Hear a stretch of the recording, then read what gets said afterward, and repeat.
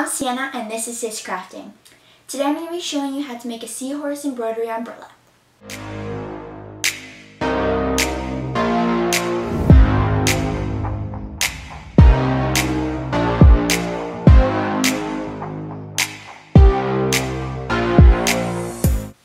For this tutorial you are going to need a template. I'm using just a coloring sheet and then I'm going to cut it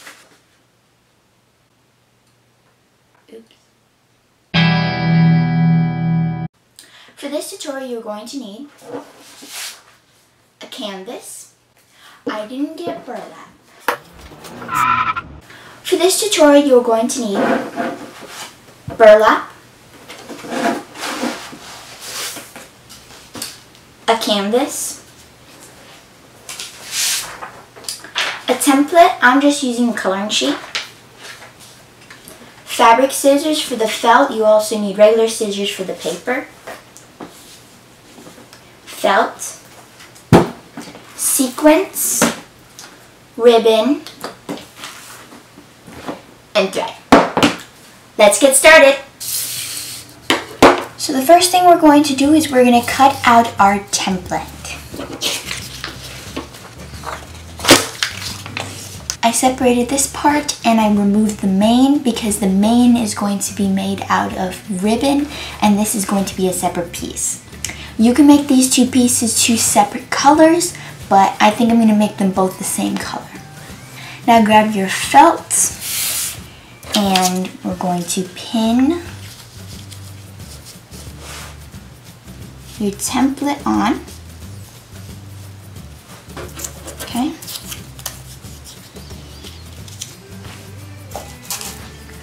With our pins.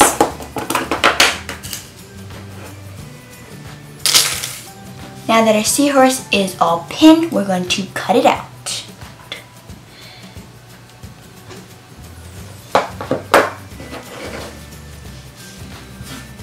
Alright, it's cut out. So now we're going to quickly unpin it. Remove the paper. There we go. So it goes like that. And now we are going to work on the next step. We're going to be doing the stitching on the seahorse and not while it is on the burlap. So first thing that we're going to do is we're going to work on this fin. So the fin is pretty simple. Just do a few stitches and I'll show you how to do that. I fixed up the tail a little bit so it would be to my preference. You can do it however you want. And now you're going to grab your needle and thread. I've already separated mine into three strands the way I like it. I'm to thread your needle real quick. There we go. Add a knot to the end. If you haven't seen Sophia's fall decoration on burlap, go check that out for more detailed instructions on sewing with a needle and thread. Alright, so I'm going to start with this, set this aside, and we're just going to be doing lines from each little lump. So we're going to do a strand going like so from each little bump. Now you can do a long stitch or you can do a back stitch or you could do a running stitch. I'm going to be doing a back stitch.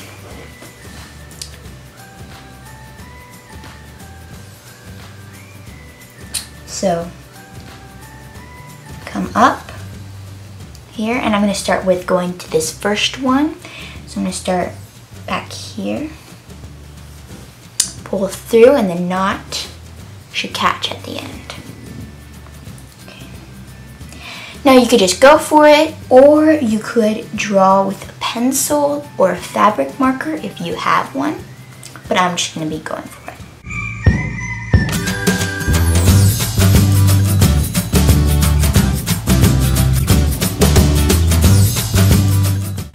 Alright, so now we're going to work on the body. You can set aside the tail.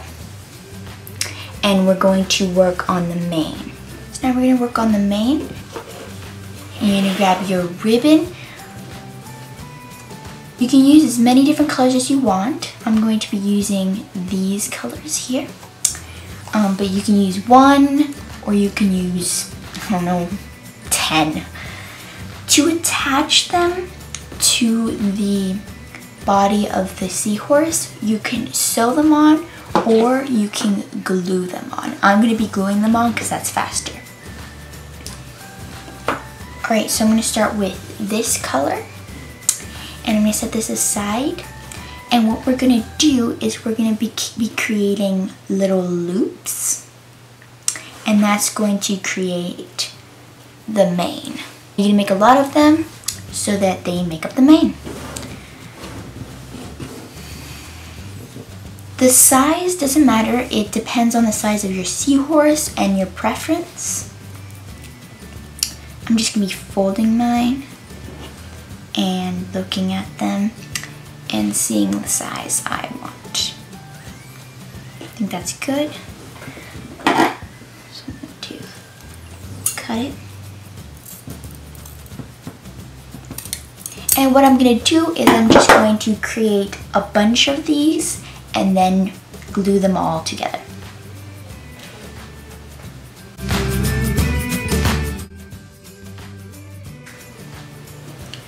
Alright, so now we're going to grab our glue gun and we're going to fold each piece in half. Glue at the end, just a little bit, and fold it together. Press down. Be careful to get burnt. And there we go, it's first loop.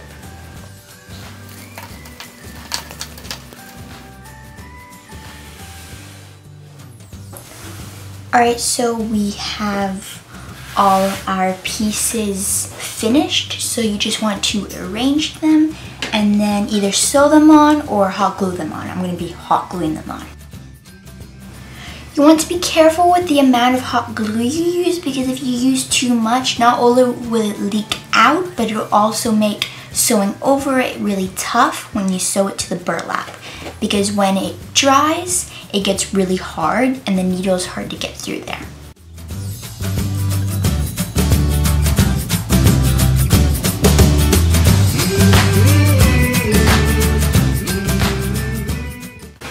Keep in mind your fin wherever you're going to place it so that it doesn't exceed over where the fin is. I'm probably going to put it around there, so I'd probably end around here. Alright, I finished the mane, so now I'm going to attach the fin. So set it up the way you want it and pin it in place. Make sure that the this end of the fin is underneath the body so that you have somewhere to sew it to the body. So pin it in place. Alright. Check it again, make sure you like it the way it is.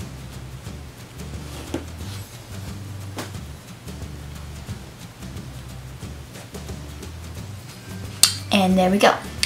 So now we're just going to do a back stitch or any kind of stitch. I'm going to do back stitch right along here. I my thread, thread needle. Alright, and notch our end. Trim the end.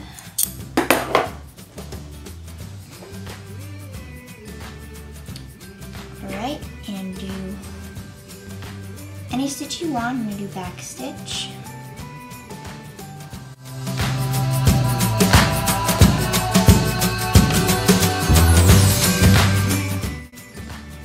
Turn it over, make sure it got caught, mine did.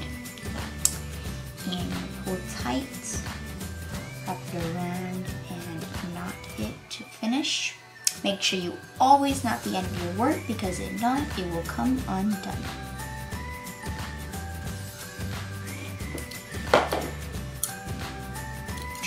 Excess. And there we go. All right, so I have my box of sequins. Open it up.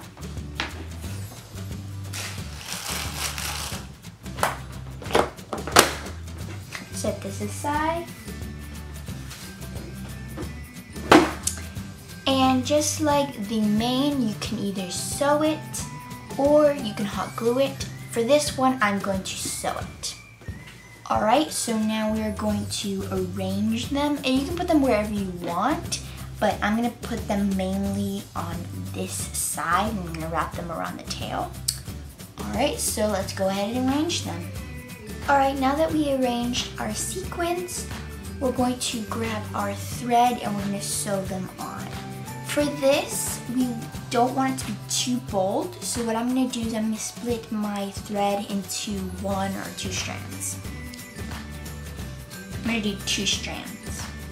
All right, so I thread the needle, knot at the end. And I'm gonna start up here with the eye, and I'm gonna work my way down. So what you wanna do is you wanna come up through the middle where there's a hole. All right, pull. The knot should catch you. And then you're gonna go out and down. I'm gonna do mine at each crevice in between the two petals petals. And you want to go down, pull, so you get a little stitch like that. I don't know if you guys can see that. Then you're to repeat it until you get the amount of stitches you want. So you're to go through the middle again.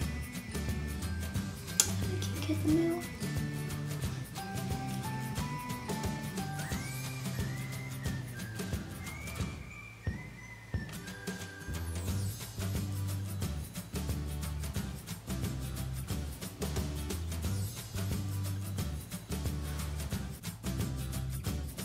If you don't like the look of the stitches, you can also just hot glue them on. Alright, so I finished, and so now I'm going to end. Now with the sequins that are closer together, you might not have to knot the end every single time for each individual sequin. You can just make it one long strand.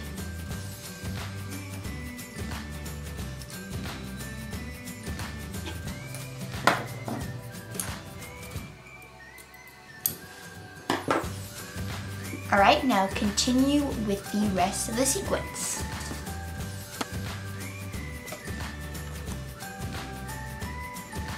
All right, I finished sewing on the sequins, and so now we're going to cut out a piece of burlap. I've already done it.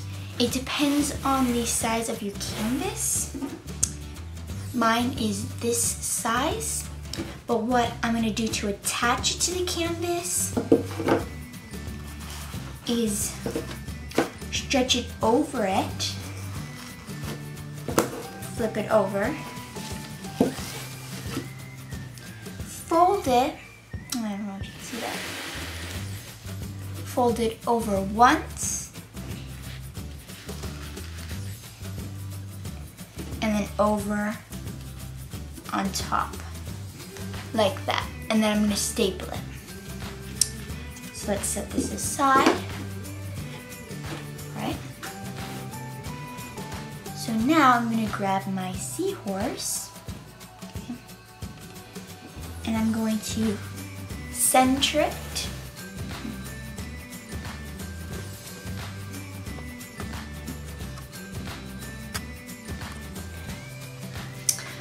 All right, um, center it. The probably made mine a little bit too big, but it's better to be too big than too small. All right, I think that's about centered, and you want to make sure it's straight as well. And then we're gonna pin it.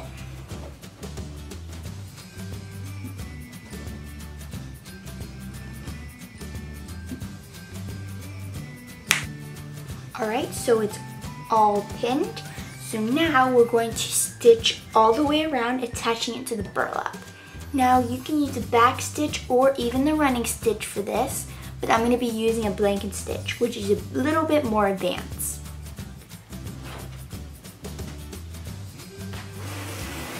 Alright, I finished sewing all the way around, and now we're going to attach it to our canvas. So you're going to start with putting it onto the canvas, like so. And you're going to want to make sure it's centered to the best of your ability.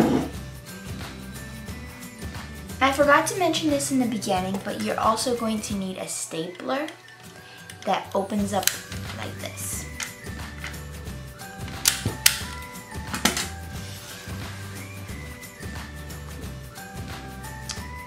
All right, go ahead and make sure it's centered. It looks about right.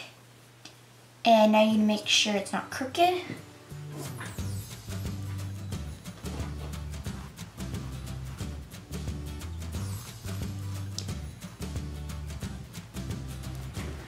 All right, very carefully press your hand on the top and very carefully flip it over, making sure it stays in its place. Okay.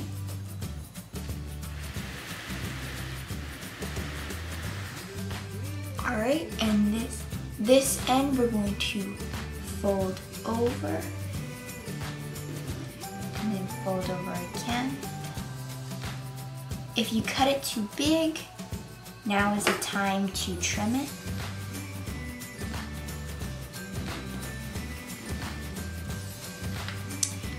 Open up your stapler.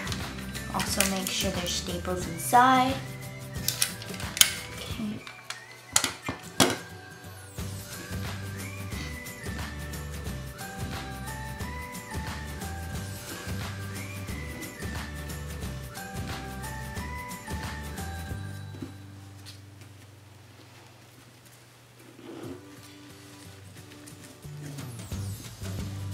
And lay it down like so. Then you want to grab your stapler, press it down,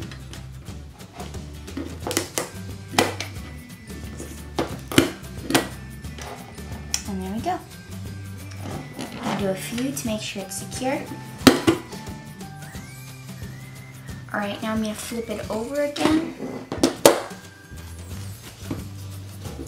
to make sure it stays centered pulling mine tight. Okay. Fold over.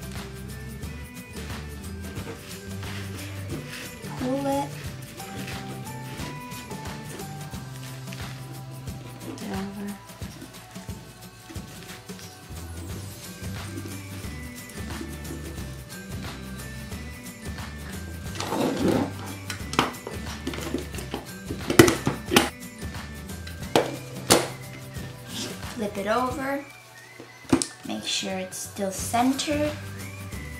And now the last two sides are going to be the easiest. I decided to cut this square off because it was just making the area too bulky on the corners. So I just cut it off and then folded it.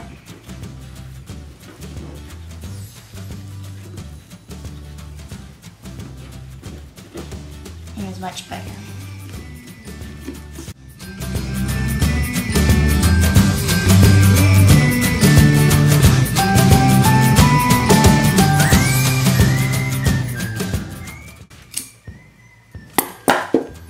Alright. And it's finished. So this is how it turned out. You don't have to do a seahorse, you can do anything you want. Um, you also don't have to do all the medium I did, or you can choose different medium. Um, this is one I've made in the past. It's a little girl and it's a little smaller as you can see and I use a different kind of burlap. It really depends on what you want to do to get your creative juices flowing. If you followed any of our tutorials, don't forget to put it on Instagram and tag us on the post. Don't forget to like, subscribe, and hit that notification bell. Bye! Under the sea, under the sea. Down where it's wetter, life is so much better. Under the sea, oh it's wetter, life's so much better. Under the sea.